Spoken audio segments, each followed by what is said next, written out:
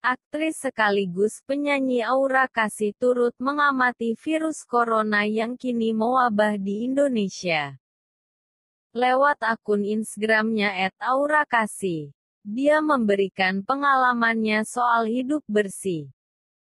Apalagi, kebersihannya sudah diterapkan sang pelantun. Mari bercinta. Sebelum mewabahnya virus yang dikenal dengan nama COVID-19. Kebersihan menjadi sebuah hal yang penting bagi Aura Kasih ditambah lagi dengan kehadiran sang anak Arabella. Jauh sebelum ada kabar-kabar virus corona dan sejak melahirkan Bella, aku selalu terapkan ke keluarga dan teman-teman. Kalau mau ke rumah cuci tangan, ganti baju kalau habis dari luar, tulis Aura Kasih. Kalau ada yang mau